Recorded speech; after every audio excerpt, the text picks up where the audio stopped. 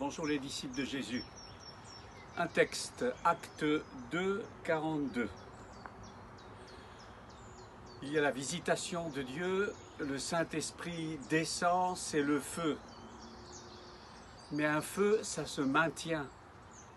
Ça, on, on doit en prendre soin. Ils étaient assidus, ils persévéraient dans l'enseignement des apôtres, dans la communion fraternelle, dans la fraction du pain et dans les prières. Ça, c'est les quatre piliers euh, d'une Église qui non seulement a reçu le feu, mais vit le feu.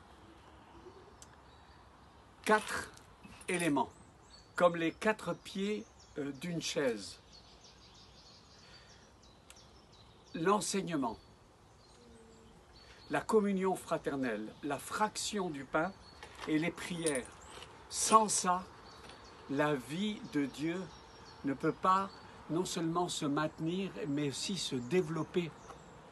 On a besoin. Euh, euh. Des fois, c'est c'est difficile.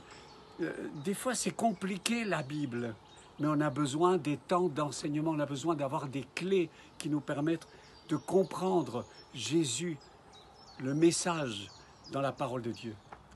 La communion fraternelle, c'est merveilleux, mais des fois, les frères sont un peu pénibles, comme nous sommes pénibles. Et pourtant, c'est fondamental. Un chrétien seul, c'est un chrétien perdu. On a besoin des prières, c'est fondamental. Des fois, quand on prie, ça tourne dans la tête mais on a besoin de se discipliner. La prière, c'est la respiration de l'âme. On a besoin de fraction du pain et de partage. C'est fondamental, c'est ce qui soutient et fortifie notre vie spirituelle. Sois béni, disciple de Jésus.